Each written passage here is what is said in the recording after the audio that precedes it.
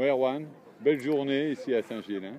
Ouais, c'est la journée de rêve. euh, trois courses, trois victoires. On l'avait jamais fait. Euh, à Dunkerque, on avait réussi deux victoires et une manche de deux. Puis là, c'est trois victoires. C'est vraiment parfait. On, est- on s'est bien battu sur la dernière d'ailleurs pour remonter parce qu'on n'était qu'en cinquième position. Et voilà, donc euh, on conclut de fort belle manière le, bassin atlantique. On avait une super vitesse au pré. On faisait tout le rappel qu'on pouvait pour faire avancer, pour aider à ce que le bateau aille vite. Euh, des super départs, de la bonne tactique.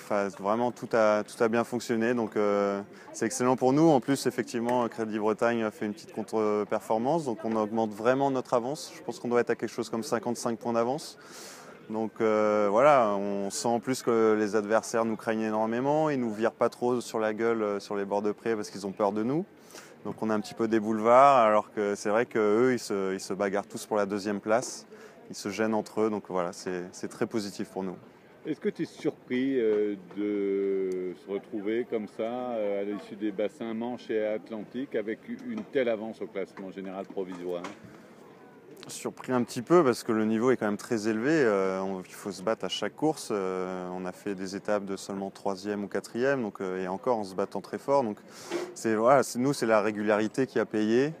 Et pour l'instant, aucune autre des équipes n'a réussi à l'avoir. On va voir en Méditerranée, mais on a fait un petit break sympathique. On est, on est content d'aborder la, Méditerranée avec ce petit matelas d'avance, on va dire. Merci Erwan.